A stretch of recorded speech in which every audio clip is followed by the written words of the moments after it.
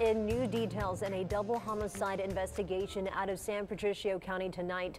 Sheriff Oscar Rivera officially releasing the identities of the two young men killed whose bodies were left in an abandoned SUV near Aransas Pass. Sheriff Rivera tells us they are 27-year-old Brandon Barboza and 26-year-old Xxavier Marcus.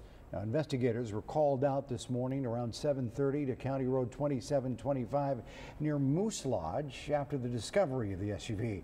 That's when they found the two men. Rivera says upon further investigation, it was determined that both were shot somewhere else but then driven to this location. Rivera says both were living in Aransas Pass. Now, no motives or leads have been established yet. So if you at home know something about what may have happened in this case, then you need to call it in, either 911 or the San Pat Sheriff's Office at 361-364-9600. The sheriff telling 3 News tonight, quote, we won't give up. We will continue to follow up this investigation as we learn more.